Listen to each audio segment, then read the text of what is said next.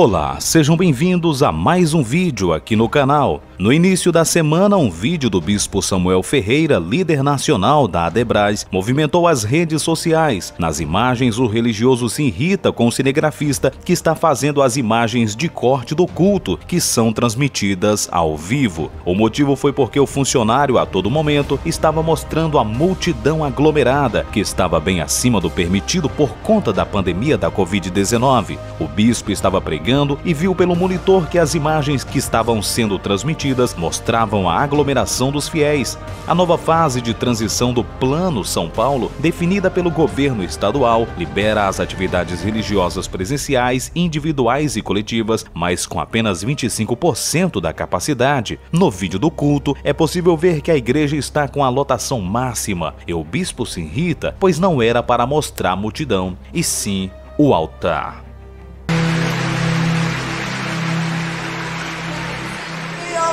Corte, para! Isso dar problema, corte! Irmão, deixa eu aqui. Eu não sei quem está no corte hoje, mas tem que cortar. É, eu vou ter dor de cabeça daqui a pouco. E o irmão também que está na câmera, irmão, deixa o inimigo te usar, não.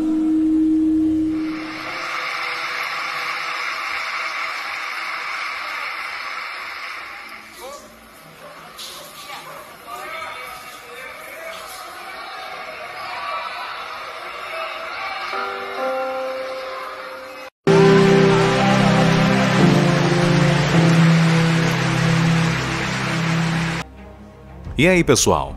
Qual a opinião de vocês? Deixem aqui nos comentários. Não se esqueça de se inscrever no canal, ative as notificações para não perder nenhum vídeo e deixe o seu like. Muito obrigado e até o próximo.